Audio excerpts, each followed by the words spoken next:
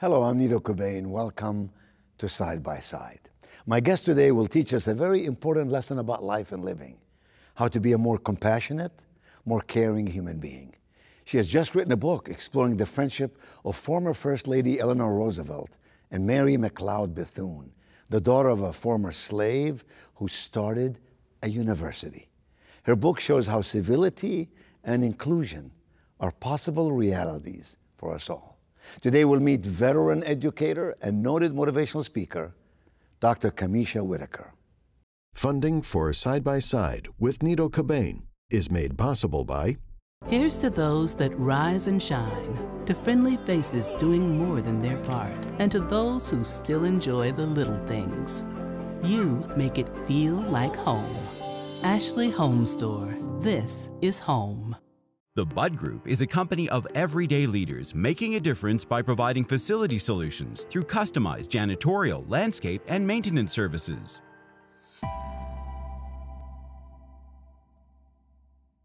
Coca Cola Consolidated is honored to make and serve 300 brands and flavors locally. Thanks to our teammates. We are Coca Cola Consolidated, your local bottler.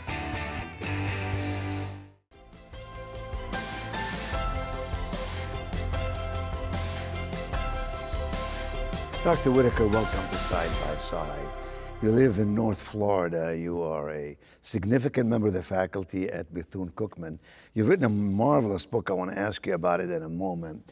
And you talk so much about civility. Mm -hmm. What is your definition of civility?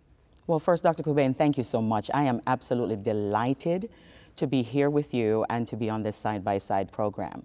Civility, everybody is talking about it these days and calling for it.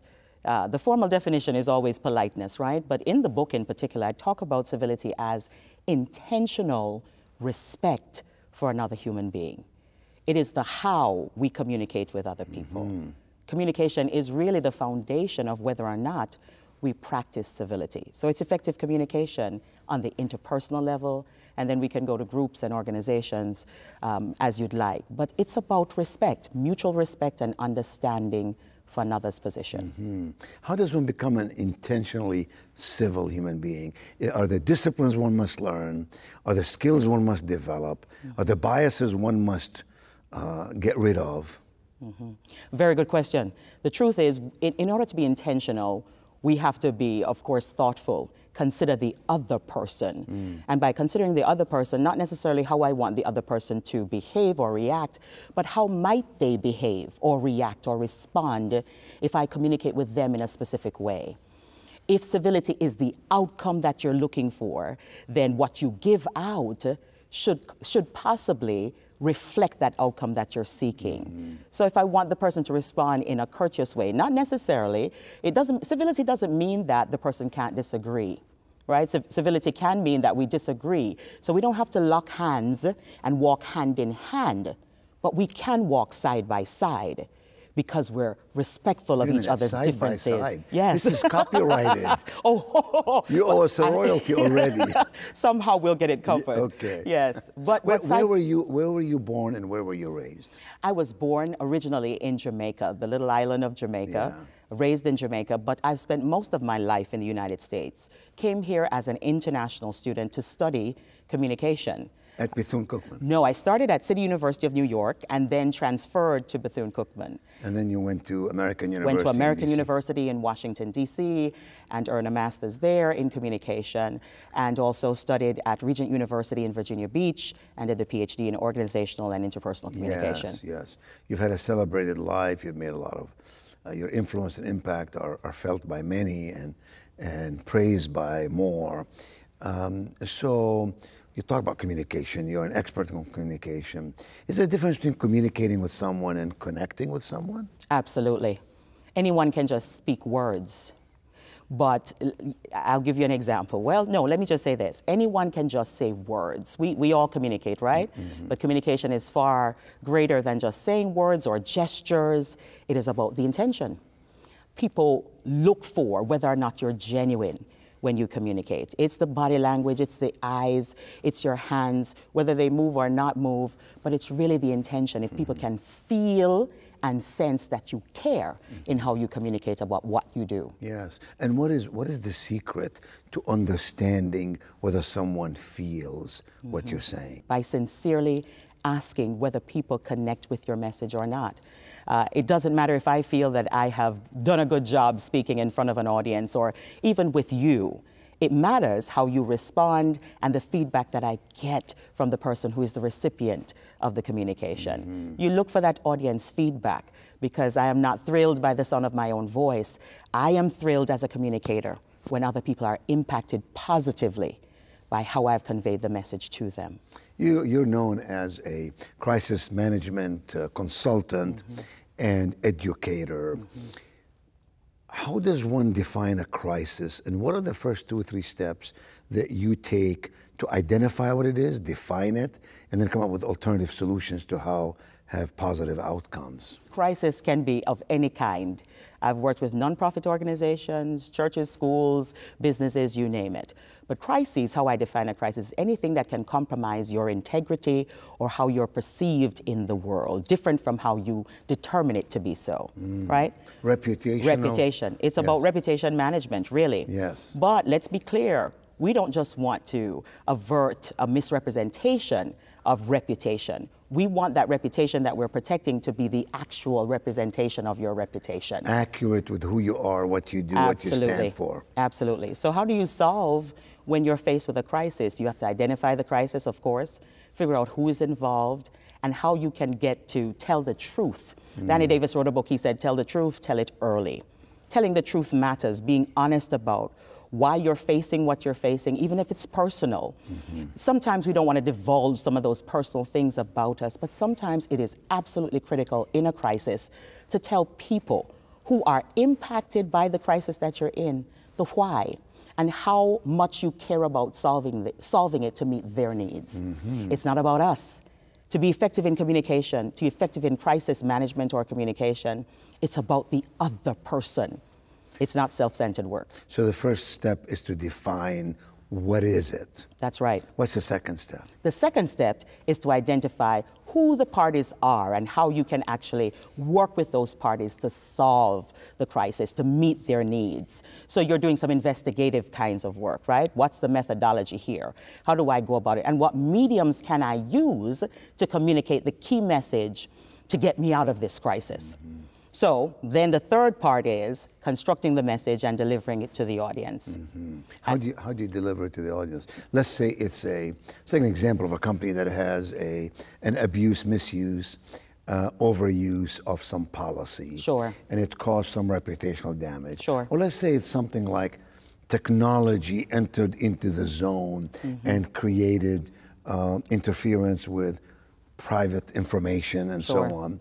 And now the company is burdened mm-hmm. with the notion of responsibility. Right. that somehow they were not as responsible as they could. Mm-hmm. How do you then, to a large audience, communicate the message of resolution?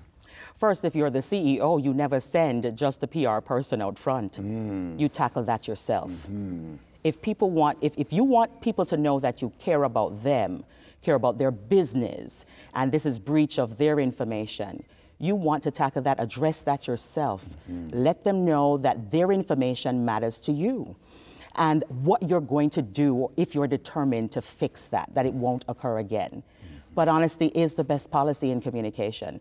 And of course, as broad a message, do it on camera, do it perhaps unscripted, because the unscripted, the better, more natural.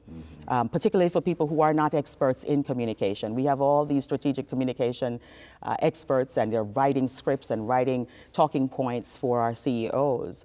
But the number one thing when I counsel a CEO or any program director, the number one thing I tell them is people want to know you.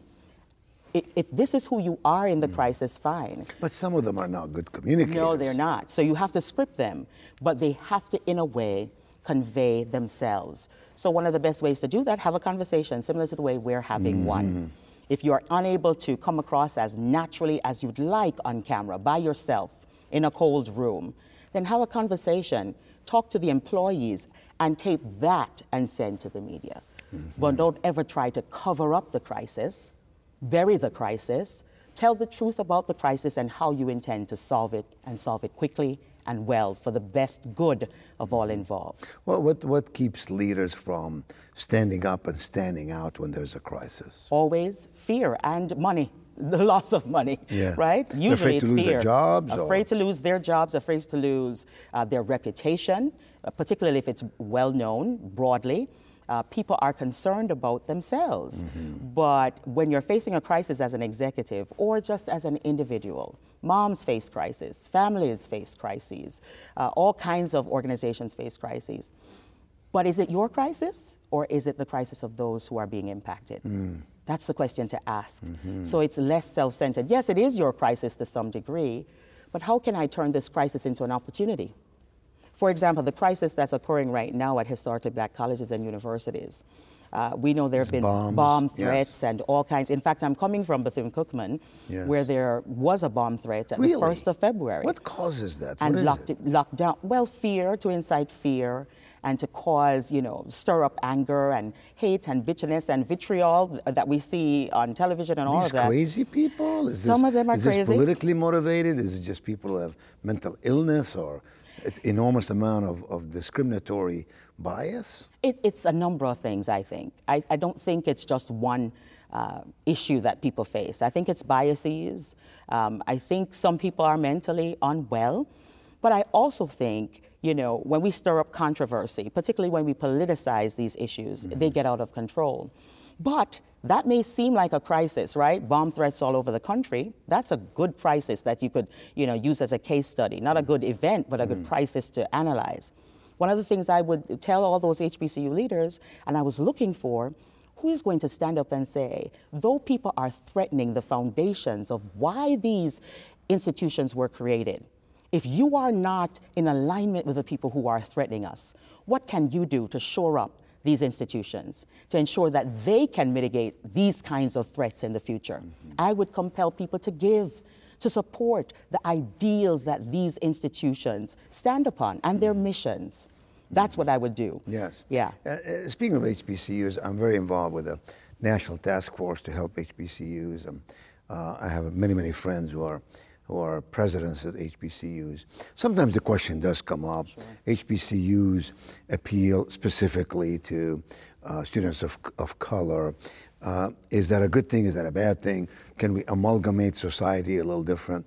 Um, a lot of private schools and public schools that are predominantly um, Caucasian schools uh, have have a challenge in terms of attracting uh, students of color, right? Because they're competing with organizations that have strength and foundation and history in HBCUs. Do, do you? Am I right? Am I wrong? Do you see?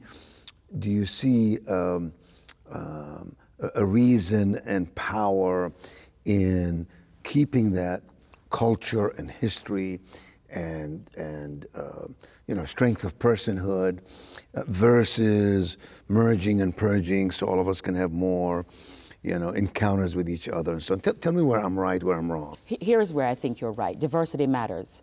Representation matters, both at a PWI, predominantly white institutions, and at a historically black college or university. They were founded, yes, before the civil rights era, and to give opportunities to students of color who did not otherwise have those opportunities. So that was the relevance.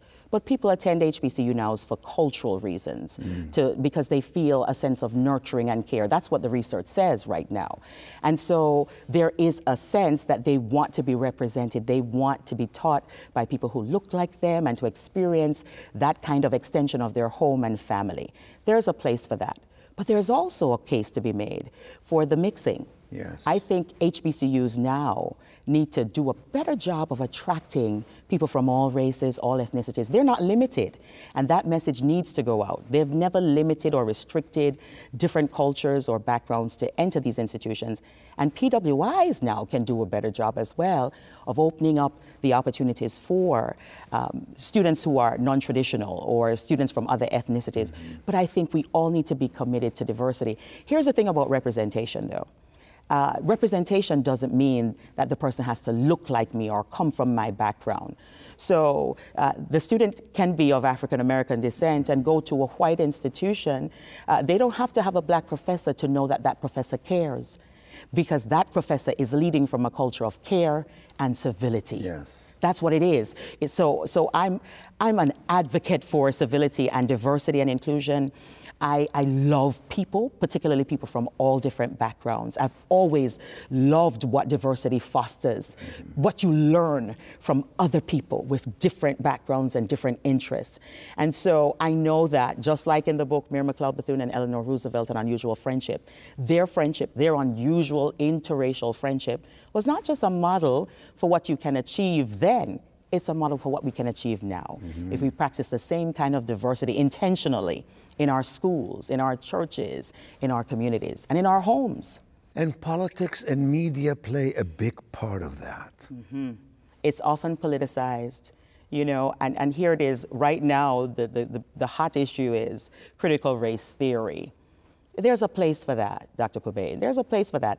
Some people are uncomfortable talking about critical race theory. I think the institution, the academy, higher ed, K through 12, all of those institutions are the best places to have the conversation. What we need to do is figure out how we approach the conversation mm. from a mm. pedagogical perspective, right? So the best place to wrestle with tough issues is still the academy, is still in a classroom where it can be properly monitored and, and people can be, feel free and safe to express their different opinions. So I say it's not about the theory, it's about whether or not we can promote civility as we're communicating any difficult subject, no matter what it is. Mm, whether we agree or not. Whether we agree or not. Yeah. Which brings me to conflict resolution. You're an expert on conflict resolution. We talked about crisis management. Talk to me about conflict resolution. Conflict resolution, again, is about what is your outcome we all have different ways to solve conflict. We, we, some people want to avoid conflict. Some people want to mitigate conflict, but conflict is bound to happen just like change is bound to happen. When conflict arises, the number one thing you have to identify is why. Why the it happened, cause, the, the cause, cause, what caused this conflict, and if you are responsible, how can I remedy this? How can I remedy this? How can I communicate that I care about the fact that I've injured another party or someone has uh, been aggrieved because of my actions? So, cause, and then, of course, impact. How do I ensure that this does not happen again? Or how do I ensure that we redirect this conflict into change yes. or activities for social causes? Yes. Let's talk about your book a little bit. What attracted you to these two women to the degree that you would write a book? I know that this was part of your dissertation yeah. for a doctoral uh, program, um, but then you decided to write a book about two women. What, what was the primary attraction? Yes. Now, uh, uh, Mary McLeod Bethune, uh, daughter of former slaves, she was the first one of 17 born free. Uh, in the book, I, I refer to her as the National Park Service does as the First Lady of the Struggle. And I refer to, of course, Eleanor Roosevelt as the First Lady uh, of the world, as she was known, two of the greatest women of the 20th century. Mm-hmm. Uh, I was attracted to write the story about them because I wasn't satisfied that the dissertation would reach as many people as it needed yes, to. Yes. I needed to convey not just the fact that these two historical figures had a friendship, but I needed to convey the depth of that friendship. Many people say it was just political. But from my research, I found that it was more than just political. It became a close bond. Mary McLeod Bethune referred to it as a kinship mm-hmm. uh, between them. Eleanor Roosevelt said it was deep and abiding. How did they meet each other, and what, what span of time are we talking about? They met each other in 1927, uh, did not communicate via letters until 1933, but the span of their friendship was about 28 years, almost three decades. And how did they meet? Uh, Eleanor Roosevelt's mother-in-law introduced them at a, an event being held for prominent women who were leading organizations. How old was Mary Bethune at the time? She was 52, and Eleanor Roosevelt was 43. Okay, and has she already started uh, a school? She had already started Bethune-Cookman, an educator in her own right. So, so take, me, take me back to that. I mean, this is a... 1920s. This is a woman who came through a difficult time with difficult background, mm -hmm. and she started a university. Yes. How did she do that? the story is told that she started, you know, as I said, 15 uh, of 17 children. She was the one born free. She was the first one of 17 children born free, not too far from here in Mayesville, South Carolina. She started the school with five little girls, a dollar and a half, and faith in God. But I always say, I add, and so much more because by the time she had gotten to Daytona Beach, she had lived experiences of discrimination and segregation and all of it. But she was passionate because she was the first one in her family who was taught how to read. And so she always wanted to help other people discover uh, education. She believed education was the salvation of the race. And so they knitted together not just because they were from contrasting genealogies. It, from contrasting genealogies, one born into wealth, the other one born into abject poverty, you would have thought during a time of racial tension, much like it is now, all kinds of the Depression era, uh, economic crisis, much like it is now, you would think it would be unlikely for them to get together. Yes. But not so, because they were shared interests. They bonded because they believed in the power of education. They wanted to see the marginalized improve their conditions. They wanted women to have more respect in the world. And they wanted a better country, a better world. Both of them ended up collaborating on the, the, the UN uh, Declaration of, Universal Declaration of Human Rights. That's how far and how impactful that friendship was between Eleanor Roosevelt and Mary McLeod Bethune. Where did Cookman come into the picture? Okay, Cookman was uh, named after a school in Jacksonville. Reverend Alfred Cookman was the name of that school. And when Mary McLeod Bethune uh, contacted the United Methodist Church, uh, they agreed that if they would give her some money for her school, if she merged some of those interests and became co-educational. I so see. she had males now joining the all-female school in Daytona Beach, and it became Bethune-Cookman uh, University, Bethune-Cookman College at the time. Daytona Normal Industrial Institute, really. It's a university now. Yes, it's a university today. Give us some stats. How many students? Uh, about 2,800 students, over 150 faculty from all over the world, just premier faculty that serve there. And the student body is diverse. Uh, that quite a few international students, at least 8% international students uh, from all, all different countries. Uh, State-of-the-art uh, programs in communication and hospitality. Undergrad and grad. Undergrad and grad, graduate program in transformative leadership. We, need, we could use some transformative leadership Yes. today but just a fine institution that really represents the best of what Mary McLeod Bethune would Mm-hmm. and you teach there, and you also direct the Innovation Center. Yes, I actually do. I'm the director for faculty innovation at Bethune Cookman and do quite a bit of professional development work with our scholars there, ensuring that we have the best pedagogical practices to reach Yeah. our students today. You know, uh, Camesha, what, what sometimes worries me Hmm. is that faculty go to school sometimes seven, eight, ten years, Mm-hmm. uh, earn their PhD. Uh, they're taught in, in the discipline itself all matters that make them expert. However, they're not taught how to teach, although they aspire to teach. They're not taught how to develop life skills, which is today, um, you know, um, a very important matter that, that, that employers tell us, please give me graduates who are coachable, give me ones who have life skills, don't give me ones who just understand the technical knowledge, the academic piece of it. I assume in the Innovation Center you are attacking some of those issues and attempting to overcome some of those challenges. Absolutely. In fact, we just had an institute uh, with over 30 plus concurrent sessions and brought in Christopher Emdin and we brought in um, another scholar. Um, Oh, I forget his name at the moment. But we brought in quite a few scholars to talk about innovation. But one of the things when we're talking about pedagogical kinds of things, and faculty members must continuously submit themselves to learning and Yes. growth and industry. If we're not connected to the industries that we want to put these young people in, Exactly. or we want to see them excel in, Exactly. then wh- what good is it? Gone are the days when faculty members, you know, just you know read from the lecture. Uh, you really have to do life with your students. No question. You but have- how do they know to do that? Right, If someone has never that. run a business, for example, Yes. But is teaching business courses, how do you overcome this suspicion among parents that uh, I'm paying all that money, but you're not really giving my child what he or she needs for a prosperous life, successful life with significance? Sure. So what you do is you, you, you, that faculty member has to submit to continuous training. Really, training and professional development. Exposure, Exposure, awareness. awareness in the industry, bringing in professionals, professionals in residence into the classroom. It doesn't mean that faculty members always have to go out into industry, but they have to be willing to continuously lend themselves to exposure. Or bring in, travel abroad, invite people, invite to guest speakers, Yes. absolutely.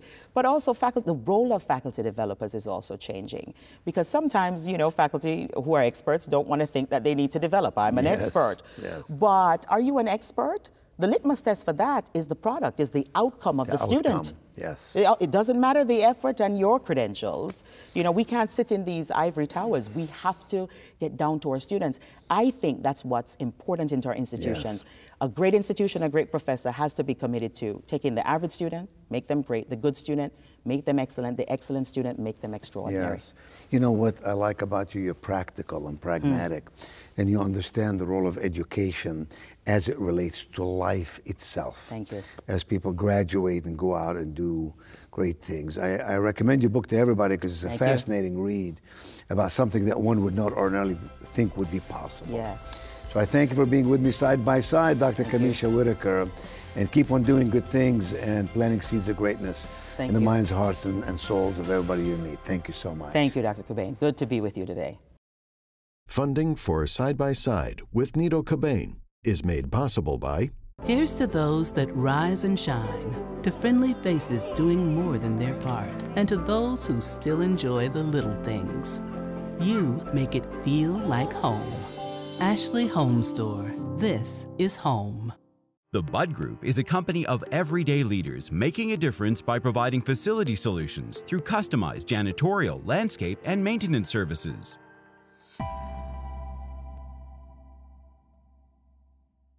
Coca Cola Consolidated is honored to make and serve 300 brands and flavors locally. Thanks to our teammates. We are Coca Cola Consolidated, your local bottler.